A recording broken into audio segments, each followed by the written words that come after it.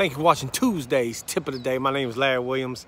Uh, it's a little bright out here in uh, LA. Um, today's topic though is setback. Um, so I had a, um, an opportunity to mentor some kids uh, at a high school. And uh, I met them three times, met with them three times. It was going good. And I got an email yesterday saying that my services are no longer needed. And I was in my feelings like, what?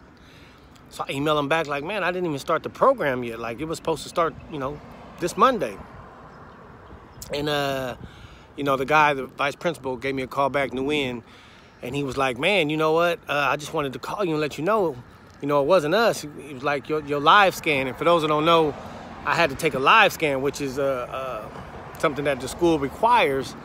Um, you know, they take your fingerprints, run your background. And so I knew I had a record. I mean, you know, I, have done robberies, I, I, I sold drugs, you know, I've been convicted of a gun charge. You know, so I knew that, but that was like 20 years ago right? That's over 20 years ago.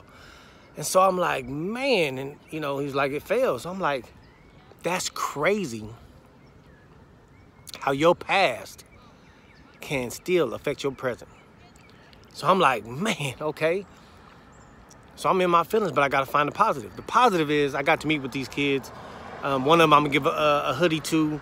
You know, I'm gonna still make that promise and give them that hoodie. Um, and I just know y'all got something better for me like this door closed, but there must be a huge door opening. So I'm excited about that. And just the fact that I, you know, I, I got to hang with them and, and, and, and learn, right? So, man, we got to keep our mind right. We got to stay focused. We got to unleash our greatness to be next to get our success. Bam! Love y'all. Ha ha.